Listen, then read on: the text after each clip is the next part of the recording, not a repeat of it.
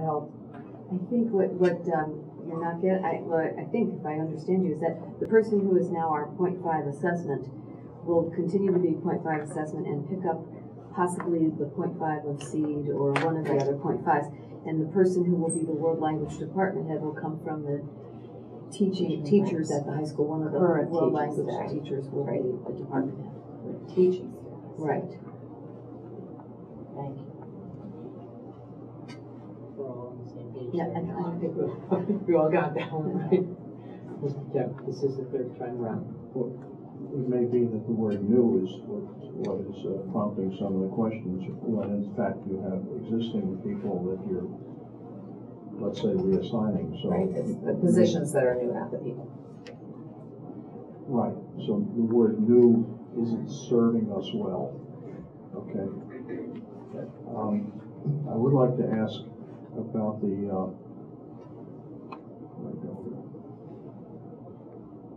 the coordinator of this, I'm sorry, the grant writer and administrator. Um, It says non-certified. Would that person be a member of the collective bargaining unit, or? No, that, that would not be my thought. Um, this would be one of those non-affiliated positions. Um, I'm sure that we have people in town who are great writers and would, uh, would do that job. I'm looking for that to be a full-time job, um, for someone, um, who would, uh, would do that. It would not be, uh, someone in a, any of the collective bargaining units. It would be an additional position. So more than likely that, in fact, would be a, a net gain of a person coming in and from outside the existing organization. Right now, we have an administrator doing that position, right? So, I'm sorry, There would- I'm so it wouldn't not announcing his retirement, I'm, I'm just meaning, I thought he wasn't going to, never mind. I, I, I understand, maybe, I confused everybody, but I think I got it. So we, we would be hiring from the outside for that, Yes. okay. Mrs. Bush. Um, I just want some clarification on the one-year seed position, seed evaluator.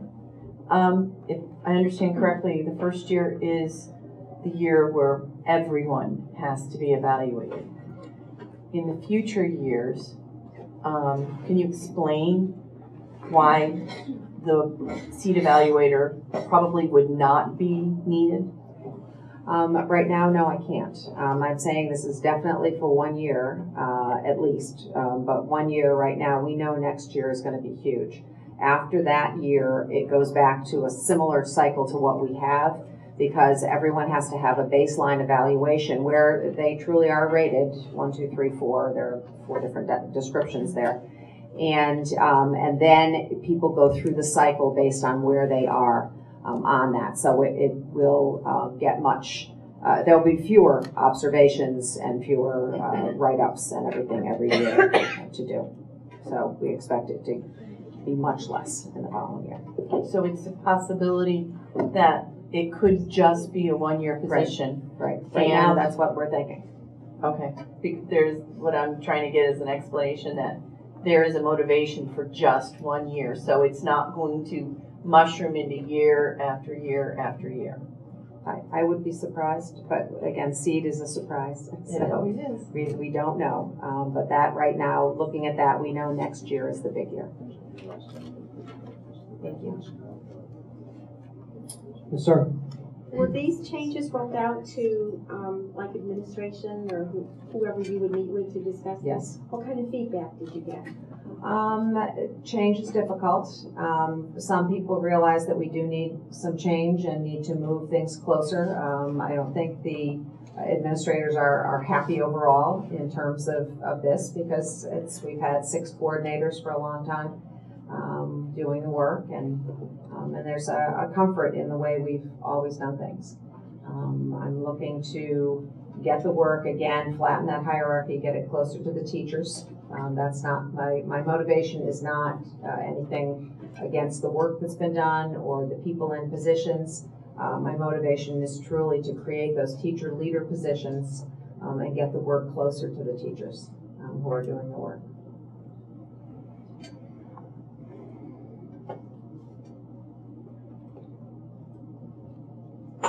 Mr. Kent? The Director of Business and Finance, is that within the scope of this discussion? Certainly. Okay. If I could direct my question to, to Michael. Are, you've certainly gone through a lot of change in, in your uh, area of focus. Uh, What we're looking at here, is this the, your envision, or do you have something else in mind that you're looking to, uh, implement? That we should know about? Through the chair, uh, no, but at this point, the positions as stated in the uh, organizational chart are where we would like to be. Obviously, we're looking at developing and growing staff within the roles, but uh, this is uh, by structure, position structure, where we want to be.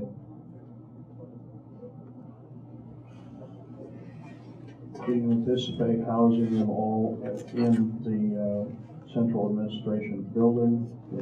At this time, uh, there's, you know, with the construction going on, are there going to be any changes uh, of the position's function outside of the building that you anticipate?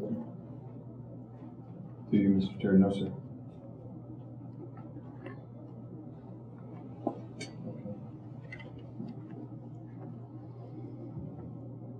Any final discussion? Ms. Sarno? Do you anticipate, uh, you have to rewrite the Alliance information. Do you anticipate asking for teacher coaches going forward? Uh, I think that, that, of course, principals would like more, but, um, I think where we are right now with teacher coaches is, um, is a good place. I would like to continue that in the next Alliance grant. Um, we still have not received definitive information, uh, from the state because, of course, their budget hasn't passed. Um, hopefully ours will be passed before then. I, I don't wish for something else, but we would know, um, know more as soon as the state budget has passed. Right now, um, we are supposed to get that six hundred seventy-one thousand dollars again, uh, next year. But in the budget, uh, that the governor has proposed, there may be additional funding on top of that for the Alliance grant. And so if that is the case, um, then there would be a, a part two of the grant. So we would continue on everything we've done in the first year and add other initiatives to that. If there's additional funding. So. So your plan is not to, be- but to just move forward with what you've been doing, with the six seventy-one, right now, right, based on, that's what they expect us to do. Um, we can look at that, we can change it a little bit, but to do something for one year and then do something entirely different for another year doesn't make any sense. So we would expect to maintain the teacher coaches where they are and consider adding more if there was additional funding? No, I, well, that could certainly be part of the discussion, I, I haven't discussed that, but there may be additional funding, and so we may do other things.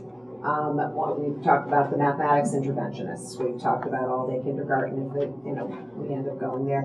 Uh, we're not sure how much money it's going to be and what it would cover. So we would be looking uh, further on, it can be supplies and things, uh, if we need more early literacy intervention kits, those kinds of things. So there's a lot of things out there that are research-based, and we would be looking to the state to uh, give us feedback on our grant, and our results of this year's grant, and uh, input into next year and direction. Is the effect of the teacher coaches measurable? Um, it, it, right now, it's anecdotal. Uh, Last year, they gave the board a, uh, a report. Um, This year, they're actually in process, I've read the first draft of it. Uh, They're in process of doing that. Um, So, so yes, it's measurable in terms of teachers that say, wow, I I could never have done this before. Um, Can we do one-to-one that the, um, the rate of literacy is much higher in the third grade? I'm not sure we're there yet. Uh, if you look at some of the kindergarten scores, uh, compared to last year in mid-year and this year in mid-year, we're much, much further, and we do have a person devoted to those eight kindergarten teachers, um, who's going, doing literacy to all eight kindergarten teachers. So that's the only change from last year to this year. Um, So I would believe that that has something to do with it. When you, last year, you had twenty-two percent of students being able to achieve at a certain level, and this year it's eighty-two percent at the same time of the year.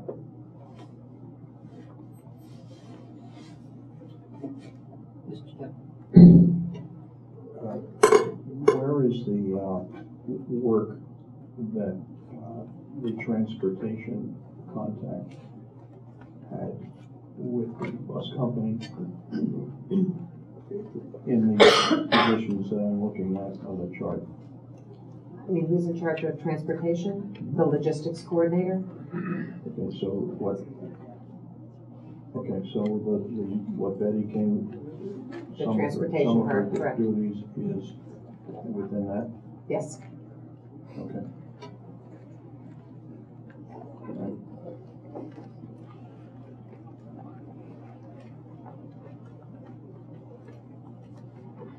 Any other discussion regarding this motion?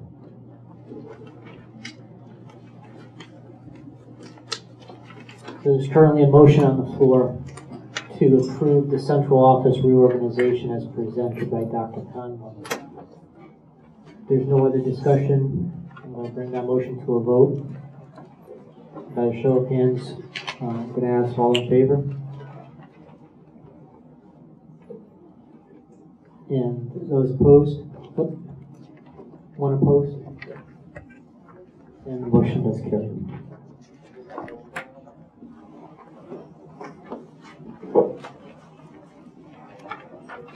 Item five point nine, uh, report from Board of Education liaisons. Is there anybody who has, uh, report this evening? I'm sorry. Um, the minutes, they were also tabled. Yes, sorry about that.